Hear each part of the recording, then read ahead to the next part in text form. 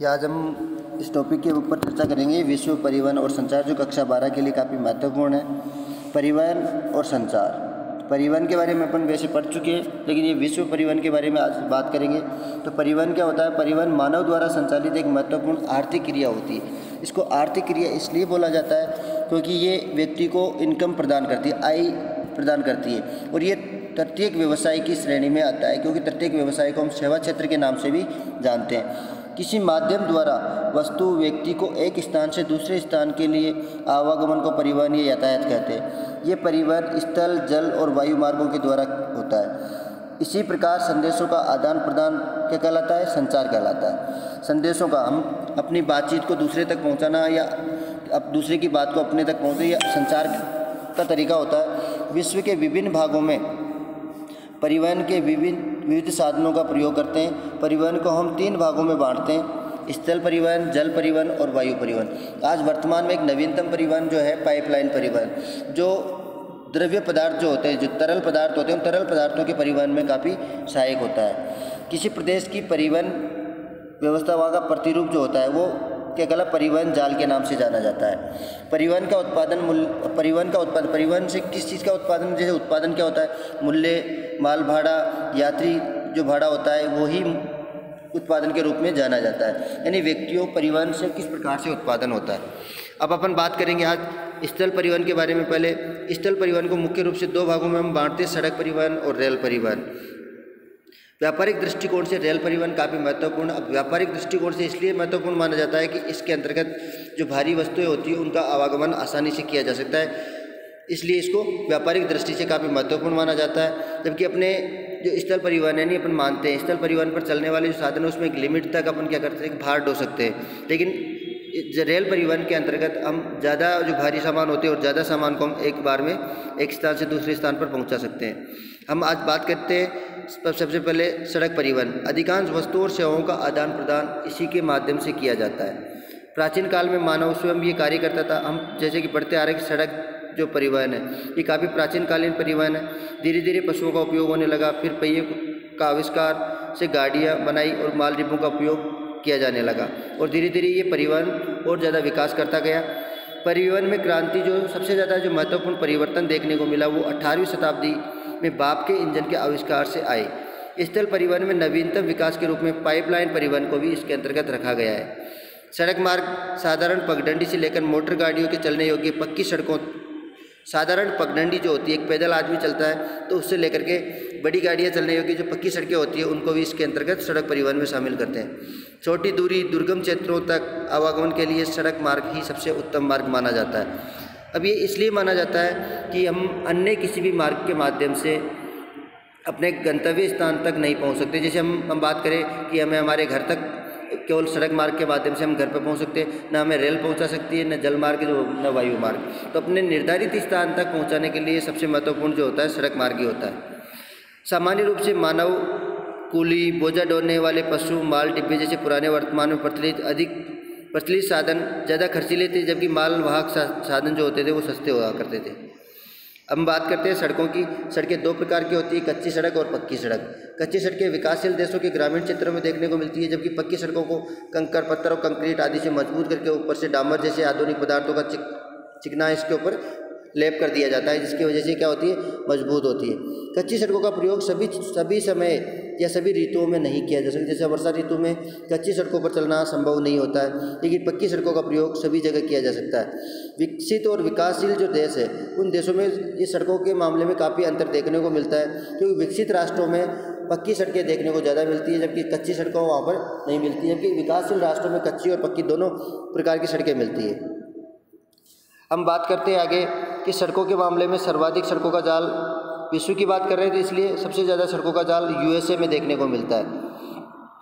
क्योंकि सड़कों के सबसे ज़्यादा जो सड़कों का जाल बिछा हुआ है, वो यूएसए, संयुक्त राज्य अमेरिका में है, तथा दूसरे नंबर पर आता है भारत। अब इसमें हम बात कर रहे हैं कि सड़कों के निर्माण और रखरखाव पर भारी खर्च होता है, और ये सारा का सारा जो खर्च होता है, वो वहाँ जिस देश की सड़कों की हम बात करेंगे, जैसे अपने भारत की बात करें तो भारत में भारत सरकार द्वारा नेशनल हाईवेज जो होते हैं, एनएच जो होते हैं उनकी देखरेख की ज़िम्मेदारी उनकी होती है। अब बात करते हैं महामार्ग। ये लंबी दूरी को जोड़ने वाली सड़कें होती हैं जिन पर बिना किसी बाधा के आवागमन किया जा सकता है। ये 80 मीटर चौड़ी और यातायात 80 मीटर चौड़ाई में होती है। ले, यातायात लेन होती है, इसमें पुल, फ्लाईओवर जैसे दोहरे मार्गों से युक्त होती है। देश के प्रत्येक नगर और बंदरगाह इन्हीं मार्गों के माध्यम से जुड़े होते हैं। ये अब अपन बात करते हैं विश्व के प्रमुख सड़क मार्गों की। तो सबसे ज़्यादा जो इम्पोर्टेंट जो मार्ग है सड़क मार्ग, पेन अमेरिकन मार्ग ये विश्व की सबसे लंबी सड़क है और ये अमेरिका को मध्य अमेरिका में मेक्सिको, यूएसए से मिलाती है। ये अलास्का से शुरू होती है और Santiago, Chile, Buenos, Aires, Argentina होते हुए ब्राज़ील। अपन बात कर सकते हैं कि पेन अमेरिका महामार्ग जो है, उत्तरी अमेरिका और दक्षिणी अमेरिका के बहुत सारे केंद्रों को आपस में जोड़ने का काम करता है। ट्रांस कैनेडियन महामार्ग। ये न्यू फाउंडलैंड से सेंट जॉन नगर और बैकुअर कोलंबिया तक फैला हुआ है। अलास्का महामार्ग ये कनाडा के एडमांटन नगर को अलास्का के एकोरेज नगर से जोड़ने का काम करता है। स्टुअर्ट महामार्ग उत्तरी ऑस्ट्रेलिया के बेटुंग को दक्षिणी ऑस्ट्रेलिया के उनादसा से जोड़ता है। अमेरिका में महामार्गों का घनत्व अब उत्तरी अमेरिका जो महाद्वीप है या अमेरिका महाद्वीप है, उसमें महामार्गों का घनत्व थोड़ा ज़्यादा देखने को मिलता है, जो प्रति वर्ग किलोमीटर ज़ीरो पॉइंट पैंसठ किलोमीटर, एक वर्ग किलोमीटर में zero point six five kilometre प्रति यानी अपन बात कर सकते हैं, एक किलोमीटर में zero point six five kilometre की सड़कें वहाँ पर मिल जाती है। प्रत्येक स्थान महामार्ग से बीस किलोमीटर की दूरी पर स्थित है। अमेरिका में तिरसठ लाख किलोमीटर लंबी सड़कें हैं। ज़्यादातर सड़कें यूएसए के पूर्वी भाग में, यानी संयुक्त राज्य अमेरिका के पूर्वी भाग में देखने को मिलती है। यहाँ औद्योगिक और नगरीकरण की सड़कों का जाल बिछा हुआ है। अफ्रीका में स्थलाकृतिक विविधता के कारण अब अफ्रीका महाद्वीप एक ऐसा महाद्वीप है जहाँ पर स्थलाकृतिक यानी वहाँ की जो धरातलीय बनावट है, उसके कारण सड़क परिवहन का मत, वहाँ पर सबसे महत्वपूर्ण साधन मान क्योंकि अन्य परिवहन वहाँ पर संभव नहीं है, रेल परिवहन नहीं लगाया जा सकता इसलिए सड़क परिवहन वहाँ पर काफ़ी महत्वपूर्ण कार्य करता है। अब बात करते हैं यूरोप में वाहनों की अधिकता के, अब यूरोप महाद्वीप की, यूरोप में वाहनों की अधिकता के कारण महामार्गों का सुविकसित जाल यहाँ पर भी फैला हुआ है, लेकिन ये सड़क मार्ग या जल मार्ग और ये सड़क मार्ग जो है उस रेल मार्ग और जल मार्ग दोनों से प्रतिस्पर्धा में सामना करना पड़ता है इसको। यानी दोनों की अपेक्षा दोनों से प्रतिस्पर्धा करनी पड़ती है सड़क मार्ग को। दोनों कौन से? जल मार्ग और रेल मार्ग से। हम रूस की बात करें तो रूस में यूराल के पश्चिम में औद्योगिक क्षेत्रों में अत्यधिक सघन जाल फैला हुआ है, जिसका मुख्य केंद्र मास्को। या विशाल क्षेत्र होने के कारण रेल मार्गों की अपेक्षा सड़क महामार्ग कम है। रेल रेल मार्ग ज़्यादा है और सड़क मार्ग कम है, क्योंकि क्षेत्र बड़ा है और जनसंख्या कम है। तो ऐसे क्षेत्रों में लंबी दूरी की जो रेलगाड़ियाँ हैं उनको अपने यहाँ ज़्यादा संचालित होती है। हम बात करें चीन की तो चीन, अब चीन कहाँ पड़ता है? एशिया महाद्वीप में। तो एशिया महाद्वीप के चीन में सड़कें यातायात का मुख्य साधन है, जिसके पूर्वी मैदानी भागों में सड़कों का जाल बिछा हुआ है। यहाँ पंद्रह लाख किलोमीटर लंबी सड़कें बताई जाती है, जबकि ये मार्ग मुख्य नगरों को आपस में जोड़ने का कार्य भी करते हैं। अब अपन बात करते हैं भारत के बारे में। तो भारत में भी अनेक महामार्ग पक्की सड़कों की लंबी, लंबाई की दृष्टि से भारत का तीसरा स्थान माना जाता है। यहाँ चौदह पॉइंट छः लाख किलोमीटर लंबी सड़कें, चीन में तेरह, पंद्रह लाख किलोमीटर और जबकि भारत में तो अपन पहले नंबर पे संयुक्त राज्य अमेरिका, दूसरे पे चीन, तीसरे नंबर पे भारत को माना जाता है। कच्ची और पक्की सड़कों की लंबाई जो अगर देखने को देखी जाए तो तैंतीस लाख किलोमीटर है। तेईस इनमें से चौदह पॉइंट छः लाख किलोमीटर लंबी सड़कें, जो पक्के रूप में मौजूद है। भारत में राजमार्गों को राष्ट्र कई भागों में बांटा गया है। राष्ट्रीय राजमार्ग, राज्य राजमार्ग, जिला सड़कें, ग्रामीण सड़कें, सीमांत सड़कों के रूप में जानते हैं। देश में 230 राष्ट्रीय राजमार्ग, जिनमें सबसे लंबा राष्ट्रीय राजमार्ग जो है वो N H seven, national highway number सात, जो वाराणसी को कन्याकुमारी से जोड़ने वाराणसी, उत्तर प्रदेश, ऊपरी भाग में स्थित है और नीचे कन्याकुमारी पड़ता है तमिलनाडु के क्षेत्र में। तो उन दोनों को जोड़ने वाला जो महत्वपूर्ण, सबसे लंबा राजमार्ग जो है, वो है एन एच सेवन। स्वर्णिम चतुर्भुज योजना के तहत स्वर्णिम चतुर्भुज योजना भारत में चार महानगरों को आपस में जोड़ने का कार्य करती है। यानी चारों दिशाओं में चार महानगर हैं, उनको जोड़ती है। ये चार महानगरों को मिलाया जाता है। चार महानगर कौन कौन से हैं? दिल्ली, मुंबई, चेन्नई और कोलकाता। इन चार महानगरों को आपस में जोड़ उसके अलावा भारत में एक और योजना है, कॉरिडोर योजना। इसमें उत्तर उत्तर, दक्षिण, पूर्व, पश्चिम दो गलियारे बनाए जा रहे हैं। तो उत्तर, पश्चिम वाला जो गलियारा है वो तो कश्मीर से कन्याकुमारी को जोड़ने का कार्य करता है और पूर्व पश्चिम वाला गलियारा, असम और गुजरात। असम का सिलचर और गुजरात के पोरबंदर को जोड़ने का कार्य करता है। द्रुतगामी निर्माणाधीन छः लेन, आठ लेन महामार्ग, ग्रीन कॉरिडोर हाईवे का निर्माण वर्तमान समय में चल रहा है। ये भी आने वाले कुछ सालों में तैयार हो जाएगा। उसके बाद में शहरों की जो दूरियाँ हैं वो और काफ़ी कम हो जाएगी। अब बात करते हैं, राष्ट्रीय राजमार्ग क्या होते हैं? राज्य राजमार्ग क्या होते हैं? तो राष्ट्रीय राजमार्ग देश के राज्यों को आपस में कनेक्टिविटी यानी मिलाने वाली जो सड़कें होती हैं, उनको राष्ट्रीय राजमार्ग की श्रेणी में मानते हैं। जबकि एक राज्य के आंतरिक भागों में जो सड़कें होती हैं, जिसको जो यानी अपन बहुत बात करें कि जिला जो क्षेत्र होते हैं, उनको राज्य आपस में, जिला केंद्रों को आपस में एक राज्य के आंतरिक भागों में जो ज़िले होते हैं, उन जिलों को जोड़ने का कार्य कौन करती है? राज्य राजमार्ग। राष्ट्रीय राजमार्ग की देखरेख की ज़िम्मेदारी केंद्र सरकार की होती है, राज्य राजमार्ग की देखरेख की ज़िम्मेदारी अब हालाँकि इसमें राष्ट्रीय राजमार्ग जो होते हैं, उनके केंद्र, राष्ट्र, राज्य राजमार्ग जो होते हैं, उनकी राज्य सरकारों को देख देख रेख करनी। उसके बाद में जिला सड़कें, जो तहसील मुख्यालयों को ज़िले से, जिला मुख्यालय से जोड़ने का काम करती है।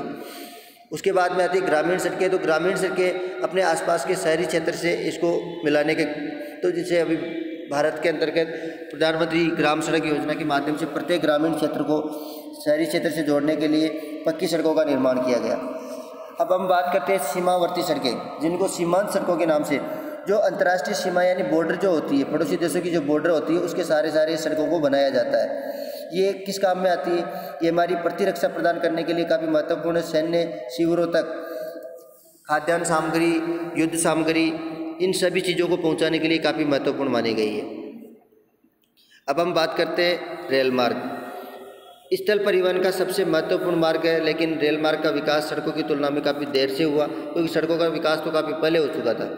इंग्लैंड में जेम्स वाट ने सत्रह सौ उनहत्तर में इंजन का आविष्कार किया तथा जॉर्ज स्टीफन ने 1814 में पहली वाष्प चलित रेल बनाई थी। उसके बाद में इसका धीरे धीरे विकास प्रारंभ हुआ। 27 सितंबर 1825 को विश्व की पहली रेलगाड़ी इंग्लैंड में प्रारंभ हुई थी। रेल लाइनों की चौड़ाई प्रत्येक देश में अलग अलग देखने को मिलती है। बड़ी लाइन डेढ़ मीटर से अधिक होती है, मीटर लाइन एक मीटर की होती है, छोटी लाइन एक मीटर से कम होती है। ये अलग अलग लाइनें हर देश में अलग अलग देखने को मिलती है। भारत में रेल का प्रारंभ अठारह में मुंबई से थाने के मध्य एक रेल चलाकर किया गया था। भारतीय रेल को चार भागों में संचालित होती है।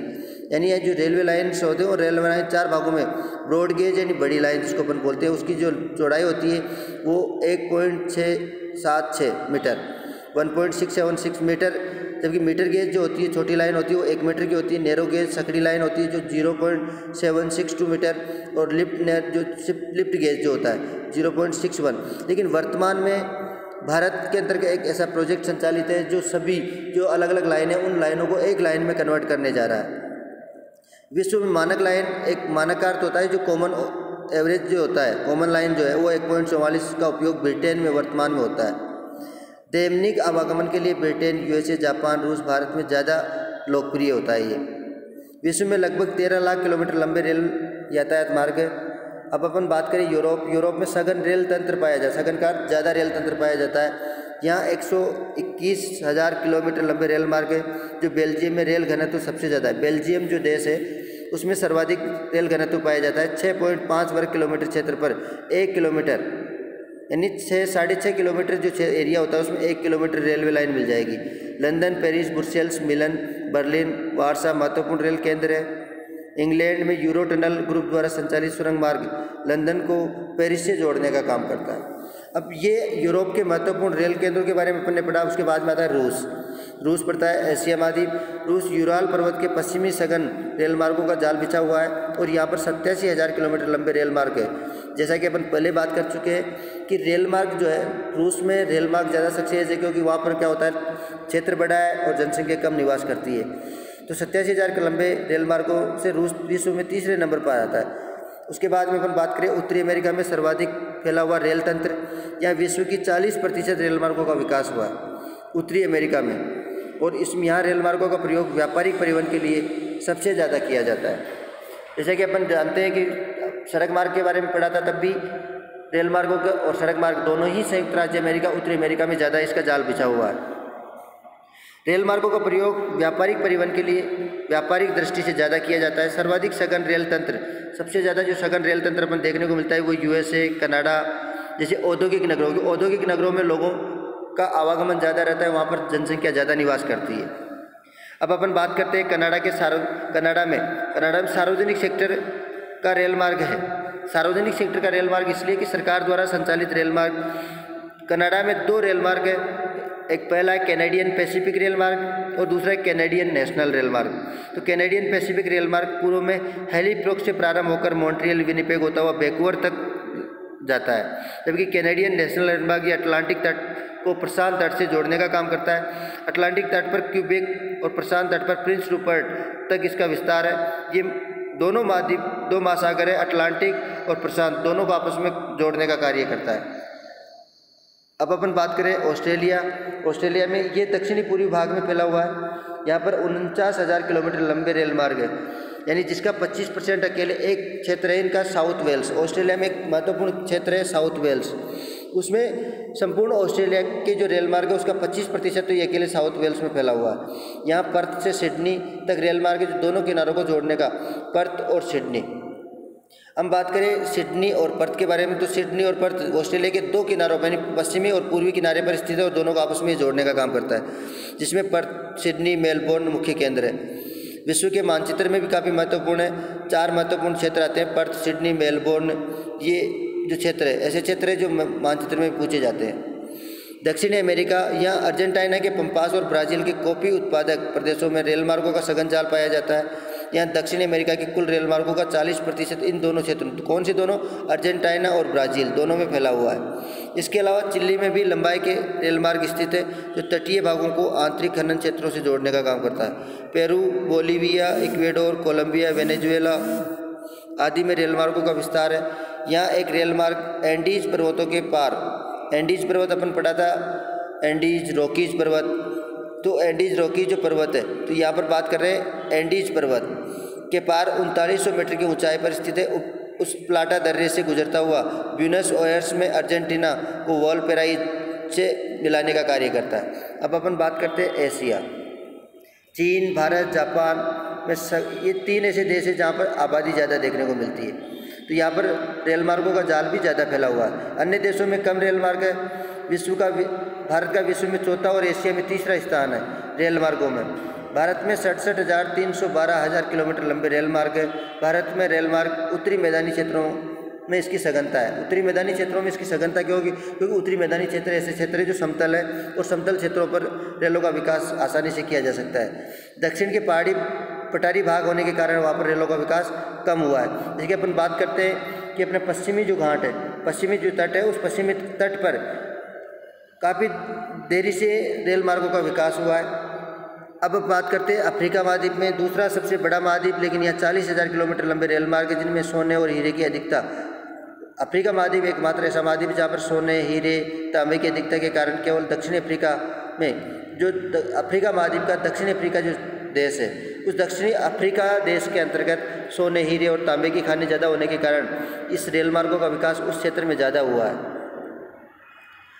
चालीस हज़ार किलोमीटर लंबे रेल मार्ग में से इकतीस हज़ार किलोमीटर लंबा रेल मार्ग तो केवल दक्षिण अफ्रीका, नौ हज़ार किलोमीटर रेल मार्ग संपूर्ण अफ्रीका महाद्वीप में केवल दक्षिण अफ्रीका को छोड़ दिया जाए तो। बेंगोलवा रेल मार्ग कटंगा, जाम्बिया, ताम्रपेटी को से होकर गुजरता है। तंजानिया रेल मार्ग जाम्बिया, ताम्रपेटी से तट पर स्थित दार सलाम को आपस में जोड़ता है। बोत्सवाना और जिम्बाब्वे से होते हुए ये स्थल कई राज्यों को दक्षिण, दक्षिणी अमेरिका से जोड़ने का कार्य करता है। दक्षिणी अफ्रीका से जोड़ता है। दक्षिणी अफ्रीका केपटाउन से प्रिटोरियो तक ब्लू ट्रेन चलाया। अब धीरे धीरे अपन बात करें कि हालाँकि अफ्रीका महाद्वीप में भी रेलों का विकास हुआ है, लेकिन रेलों का विकास अफ्रीका महाद्वीप के केवल दक्षिण अफ्रीका शहर में ज़्यादा हुआ है।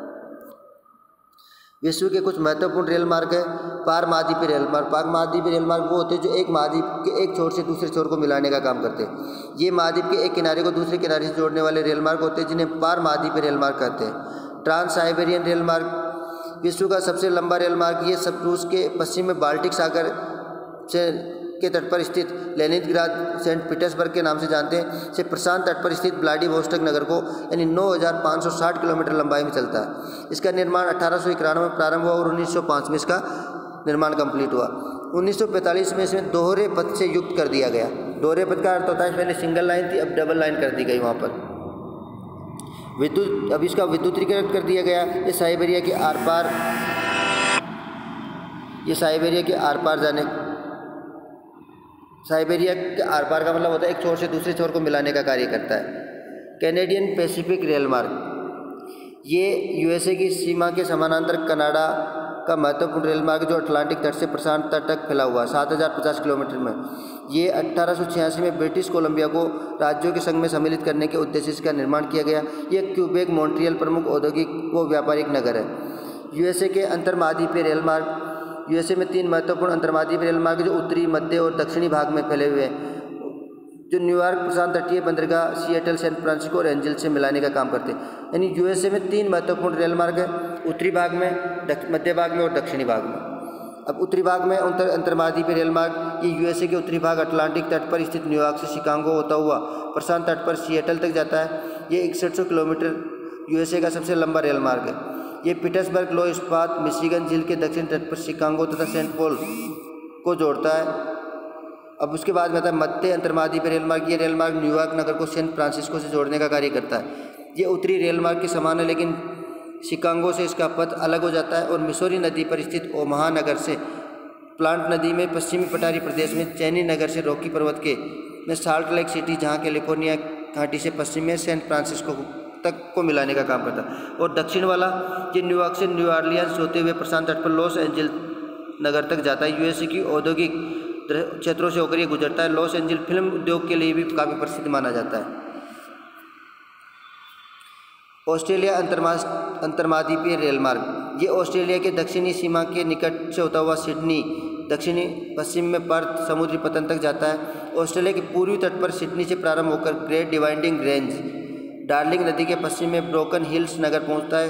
दक्षिण पश्चिम में पीटरबरो और पोर्टबरी होते हुए पोर्ट अगस्टा पहुँचता है। पश्चिम की ओर जाने वाला ये रेल मार्ग ऑस्ट्रेलिया की विश्व प्रसिद्ध स्वर्ण खदानें काल गुरली और कुलगाड़ी। ये ऑस्ट्रेलिया में दो महत्वपूर्ण स्वर्ण खदानें काल गुरली और कुलगाड़ी दोनों नगरों से होकर गुजरता है और हिंद महासागर के तट पर पर्थ बंदरगाह तक जाकर रुक जाता है। ओरिएंटल एक्सप्रेस, ये पेरिस में स्टेमबर्ग, वियना, बुडापेस्ट, बेलग्रेड होते हुए इस्तांबुल तक जाता है। और इस रेल मार्ग से पनीर और सुअर के मांस का ज़्यादा व्यापार किया जाता है। जही शराब और मशीनरी का आयात और निर्यात ज़्यादा होता है। नवीन रेल मार्ग जो प्रस्तावित है, ये इस्तांबुल, एशिया और यूरोप के मध्य तुर्की से बैंकॉक, थाईलैंड, जिसमें कहाँ कहाँ से होकर गुजरेगा, ईरान, पाकिस्तान, भारत, बांग्लादेश और म्यांमार से होता हुआ थाईलैंड की राजधानी बैंकॉक तक ये जाएगा। लेकिन ये नवीनतम रेल मार्ग जो प्रस्तावित है, केप कायरा रेल मार्ग, ये एक ऐसा रेल मार्ग है जो दो पार्टों में संचालित है। यानी अफ्रीका महाद्वीप के उत्तरी भाग और दक्षिणी भाग में, क्योंकि मध्य वाला जो भाग है, ये अभी भी कनेक्टिविटी प्रदान नहीं करता। ये भी प्रस्तावित रेल मार्ग जो अफ्रीका के उत्तरी छोर को दक्षिणी छोर से जोड़ता है। ये उत्तरी पूर्व में नील नदी के उत्तर में काहिरा को दक्षिण में दक्षिण अफ्रीका के कैपटाउन से मिलाने की योजना है। ये चौदह हज़ार किलोमीटर लंबा रेल मार्ग है। ये जिम्बाब्वे के बुलवातों से होते हुए प्रिंटोरियो जॉनसन पर किम्बरले स्वर्ण खदाने अच्छे होते हुए कपटाउन जो दक्षिणी अफ्रीका की राजधानी है, वहाँ तक जाएगा। ये प्रस्तावित रेल मार्ग अभी दो भागों में विभाजित है, उत्तरी भाग और दक्षिणी। उत्तरी भाग मिस्र और सूडान और दक्षिणी जिम्बाब्वे और अफ्रीका। ये दो भागों में अभी कार्यरत है, इसके मध्य अभी रेल मार्ग नहीं बना है। जो मध्य भाग में घने व पहाड़ी क्षेत्र होने के से अत्यधिक पिछड़ा हुआ क्षेत्र होने से यहाँ का यह यातायात का अभाव है। इस रेल मार्ग के पूर्ण होने पर अफ्रीका के दोनों क्षेत्रों को का आर्थिक विकास भी संभव हो सकेगा। क्योंकि तो जब संपूर्ण उत्तरी अफ्रीका अफ्रीका महाद्वीप को उत्तरी भाग और दक्षिणी भाग को जोड़ दिया जाएगा तो आवागमन के लिए काफ़ी सुविधाएँ होगी और लोगों को आर्थिक रूप से इसका फ़ायदा भी मिलेगा। अब हम आगे बात करेंगे नेक्स्ट टॉपिक के बारे में। आज हम इतना ही पढ़ते हैं।